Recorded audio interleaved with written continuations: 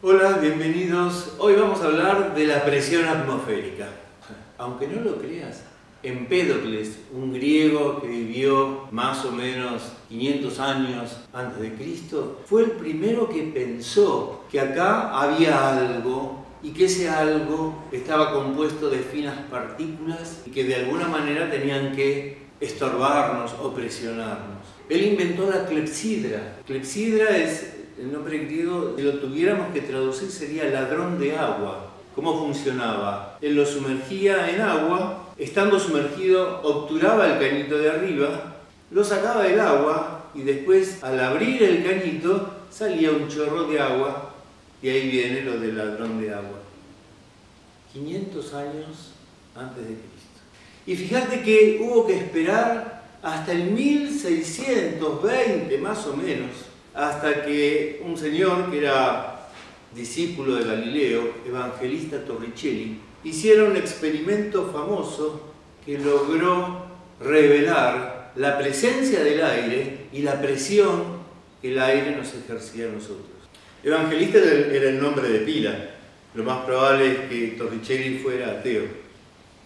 Vamos al experimento de Torricelli. ¿En qué consistía? Él tomó un tubo de vidrio suficientemente largo, más o menos un metro, y lo llenó de mercurio. Lleno, lleno, lleno hasta el borde que rebasaba. Una vez que estaba recontra lleno, lo tapó. Es pesado, ¿eh?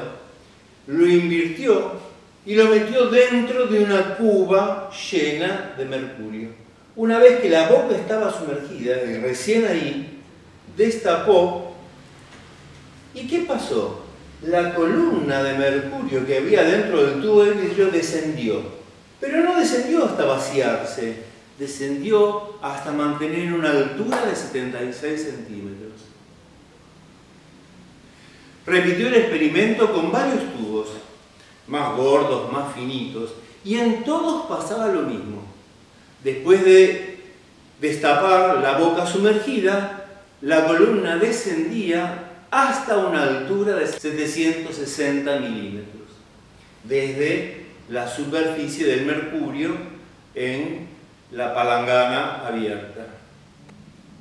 Probó con un tubo de menos de 76 centímetros.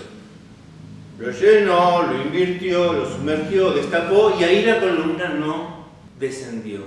Y después viene la genialidad de la interpretación de este experimento. Fíjate, cuando llenábamos el tubo de vidrio de mercurio, ¿qué había entre el mercurio y el vidrio? Pensar en el fondo, entre el mercurio y el vidrio que lo sostiene en el fondo, ¿qué hay? Nada. El mercurio se pasa al vidrio, no hay nada.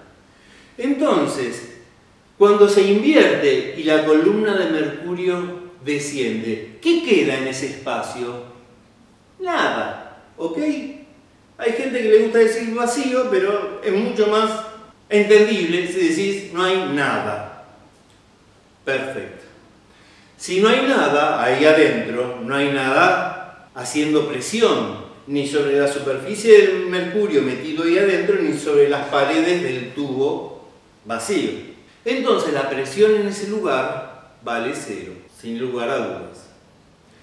En el fondo del tubo, descendiendo por el mercurio, la presión se puede obtener fácilmente utilizando el principio general de la hidrostática, que decía algo así como que la presión en un punto cualquiera del seno de un líquido es igual al peso específico del líquido por la profundidad.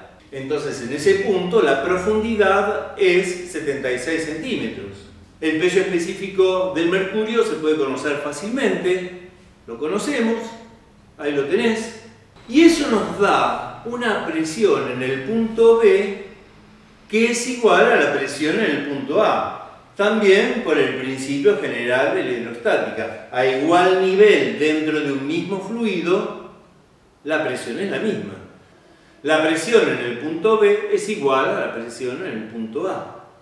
Y la presión en el punto A es la presión que ejerce el aire sobre la superficie de la palangana abierta. o de la cubeta más elegante. Esa no es otra cosa que la presión que ejerce toda la atmósfera. La presión del aire acá, en este lugar, es la presión atmosférica. Y el valor da 101.300 pascales.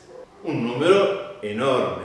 Haber medido esto en 1620, más o menos por ahí fue el experimento, es una proeza de ingenio, es una proeza de precisión. Pensad lo siguiente, desde Empédocles hasta Torricelli pasaron 2100 años. ¿Alguna vez deberías pensar y reflexionar a qué se debió tanto retraso, tanta espera para poder desarrollar ideas tan sencillas y brillantes? Bueno, te dejo que vos lo reflexiones. Pero volvamos a la presión atmosférica. 101.300 pascales es un número enorme. Imagínate que tenemos una mesa común y silvestre y que tiene un área, la, tabla de la mesa, un área de un metro cuadrado. La presión en ese metro cuadrado es equivalente a la presión que ejercería una pila de 10 autos. 10 autos, pobrecita mesa. Ese es el valor de 100.300 pascales. ¿Por qué no se rompe la mesa? Bueno, porque como el aire es un fluido, no solamente hace presión sobre las superficies horizontales del lado de arriba, también hace presión sobre las paredes, el techo y la parte de abajo de la mesa.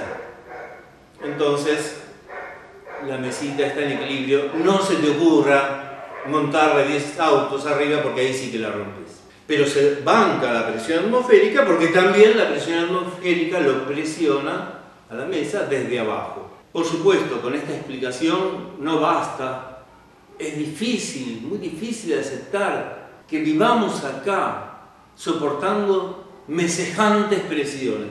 Mira este chabón, representa el chabón humano. Imagínatelo presionado, de costado, por todos lados en su piel, con una presión de 100.300 pascales, que es equivalente a lo que te conté recién con la mesa de un metro cuadrado. Nuestra superficie corporal de piel es más o menos 2 metros cuadrados. Así que imagínate, arriba nuestro, 20 autos. Bueno, ¿cómo es que no morimos aplastados? La explicación es muy sencilla. El motivo es que nosotros venimos de fábrica compactados a presión. Nos fabrican ya con una presión interna equivalente a la presión atmosférica. En realidad es un poquito mayor, no mucho, pero un poquitito mayor. De eso nos damos cuenta porque cuando nos pinchamos sale sangre, no entra aire. Eso quiere decir que el compactamiento nuestro es levemente superior al de em, la presión atmosférica. El experimento de Torricelli nos deja además otro regalo, porque fíjate que si lo repetimos todos los días, no siempre la altura a la que bajan las columnas de mercurio va a ser de 76 centímetros. A veces va a ser un poquito mayor, a veces va a ser un poquito menor. ¿Y eso a qué se debe? A que la presión atmosférica es cambiante, no es constante. hay cambios leves, pero que son importantes. Entonces, ¿qué mejor que una columna de mercurio montada como la montó Torricelli para medir las pequeñas fluctuaciones de la presión atmosférica. Torricelli nos ha legado un sistema de medición de presiones que hoy lo conocemos como milímetros de mercurio. No es la única unidad que tenemos. Acabamos de usar el Pascal, ahora tenemos el milímetro de mercurio. Muy usado en la clínica es el centímetro de mercurio.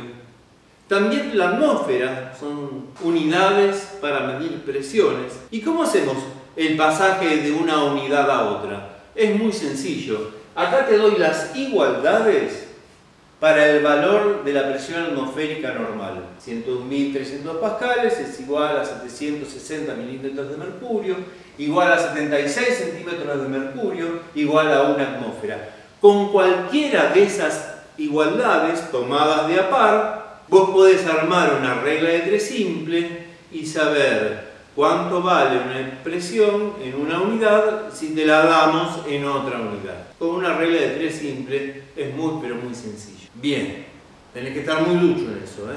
Para despedirnos te voy a dejar una frase muy poética, a mí me emociona, muy poética de Torricelli.